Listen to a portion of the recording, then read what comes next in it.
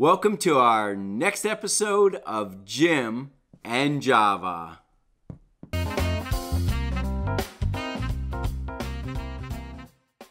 Hi, everyone. I'm Jim Dempsey, and welcome to this latest installment of Jim and Java, where we help nonprofit organizations increase their income and take their organization to the next level. If increasing income is important to your nonprofit organization, consider subscribing to this channel and hit the like button. If you've got questions for Jim and Java, we answer those weekly. You can go to Twitter at DevEffStrats and use the hashtag Jim and Java. And you can also email me at developmenteffectivenessm at gmail.com. Our first question today is from Ken in Nashville, Tennessee. And Ken asks, what are your latest findings from this spring with regard to in person versus virtual events? Well, thanks, Ken, for that question. I appreciate that. Well, we've really found some very interesting uh, findings this uh, latest year with regard to our virtual events. Last spring, everyone transitioned, pivoted to virtual events, and of course, from our standpoint, uh, that was, we really didn't have any other choice. There wasn't any other option. In fact, the idea of even putting together a virtual event seemed unusual at the time, but it turned out to be the best decision for everyone. Uh, just about every organization who had a virtual event seemed to do so much better with that, uh, that event than not doing it at all. Many had 50%, some rare exceptions had 75% of what they normally get. Uh, on average, we saw about 25%. Uh, a lot of it depended on the quality of production. Um, we found that those organizations that actually did some live uh, q&a at the end of that seemed to do even better where the audience could interact and ask questions as we moved into the fall, we started to see uh, on a number of my videos, I mentioned what we call YouTube or Zoom fatigue. And we really saw that kind of kicking in last fall as more and more people started to get dissatisfied or disinterested with the virtual options. And it got more and more difficult for organizations to get viewers to participate, um, to register first off, and secondly, to actually watch the night of. Many organizations, uh, many teams, many movements that had 150, 200, maybe even 300 people watching in the spring of 2020, uh, all of a sudden some teams started dropping to um, 50, 60, even down to 30 or 20 uh, people participating in the fall. And of course, with less viewers, uh, meant less money eventually came in. Um, some made up some of that money by putting the video out on YouTube uh, right after the broadcast on YouTube and started pushing that so that people would consider giving a gift as a result of that. And certainly that helped a lot. Um, we also tried the concept of watch parties this fall, and we really saw that that was not what we expected. Uh, we hoped that people would just easily agree to be watch party hosts, open their home to individuals to watch the video broadcast with their friends. And it actually turned out to, to be somewhat of a dud, to be honest, um, from the standpoint that we ended up not, uh, not having the same positive effect that we have with a table host for a dinner. Uh, even though it can sometimes be challenging and difficult to get a table host to fill their table for a live event, we found that it was even more difficult to get someone to agree to be a watch party. First of all, someone had to agree to be willing to open up their home in the middle of a pandemic. And even though we, towards the fall, we started to see that more and more um, facilities were opening up and larger gatherings were occurring, even 5, 10, or 15 people in a home was still a little risky for a lot of people in different parts of the country. And so that was the first obstacle. The second obstacle was the additional work. Even if people agreed to come to their home, it meant that someone had to clean their house, prepare at a minimum beverages, maybe hors d'oeuvres, and in some cases, people even wanted to prepare meals for their friends. And then on top of that, they wanted to have a program that would possibly outline testimonials from individuals who are impacted by the organization, at the least have a discussion topic, and quite possibly even a leader from the organization come in and speak at the watch party. So that took a lot of effort, a lot more than just asking someone to come to a dinner where their meals provided and and and they are really essentially entertained for the rest of the evening. So those were very difficult. Now, as we started to move into the spring of 2021, what we started to realize was that more and more organizations were willing to at least do some small gatherings. And even though the numbers were limited, that meant uh, a fraction of the number of people who had come in the past. A 600 person dinner that uh, would uh, normally yield a fairly significant amount of money um, was only able to have maybe 75, 100, 150 people uh, come together. And then on the flip side, there were just countless organizations that had to just have a second virtual event. But the positive thing that came out of it was that I did not have one organization this spring that ventured out and had an in person event actually have a negative experience. Everyone raised significantly more money than they did the year before with their virtual event, and many even came very close, if not superseded the amount of money that they raised with uh, twice as many people two years ago. Uh, an example of that is that I had an organization in Kansas City, for example, that a few years back had uh, 250 to 300 people in 2019, did a virtual event last year, and actually did a really great job with their video in 2020.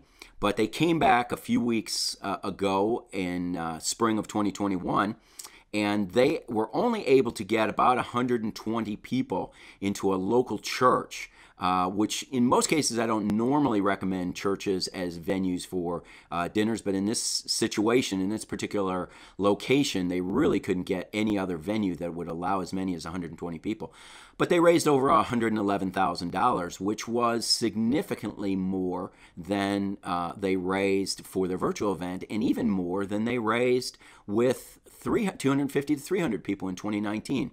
So uh, I had examples like that that really seem to indicate that there is somewhat of what I refer to as pent up giving out there. Individuals who were desperate to be part of a live gathering, to get together with people again, and they rewarded the organization with their giving. And uh, we saw some significant increases with those individuals who just simply did something, something in person, and it made a big difference. Now, on the flip side, what we saw for a lot of organizations that did a second year virtual event, and again, they really didn't have many alternatives. Uh, but I think, unfortunately, what some organizations felt was that they had such a positive response in 2020 um, that they got a little confident and they thought, well, maybe we can continue to do a virtual event. Uh, all the time going forward. And one event in particular had a significant drop um, for a um, for a very very worthy cause, and they they probably were fifty percent uh, on the income that was raised the year prior in 2020. And so um, I've had that happen almost across the board that the number of viewers and the amount of raise, amount of money raised in 2021 was less than the amount of money raised in 2020. And so it the bottom line was that if you were one of those organizations that were able to do something in person and you ventured out and were able to do it. And again, I know that there were local governments and state governments that wouldn't allow you to even meet this spring. But those who did and did venture out were rewarded well by that and uh, did, did extremely well uh, by having an in person gathering. So, Ken, I hope that helped, and those are some of the findings we had. Our next question is from Patty in Baltimore. And Patty asks, What are your thoughts about corporate sponsorship of events? Well, I've mentioned at different times, I've even written some articles for uh, publications about corporate sponsorships. And having corporations or businesses help your organization with a gift or with funds is not a bad thing. Unfortunately, what happens is that too many organizations use that corporate funding for what I call the wrong reasons. And what we have found over the years in so many of our events is that using corporations to sponsor or underwrite events, especially, tend to have the opposite reaction and opposite response. A lot of times, an organization will ask a corporation to underwrite or sponsor.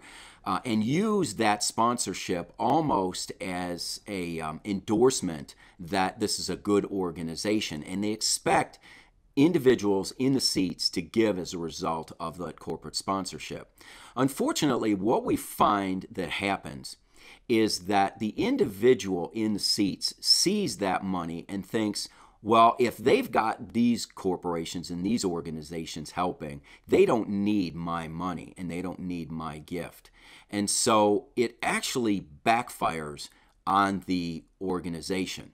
Now, normally, the reason a nonprofit organization goes to a corporation and goes to uh, a, um, a, a, business to get sponsorship and to get underwriting is to help cover the cost, especially the initial costs of deposits and the money to help to fund the meals for that event.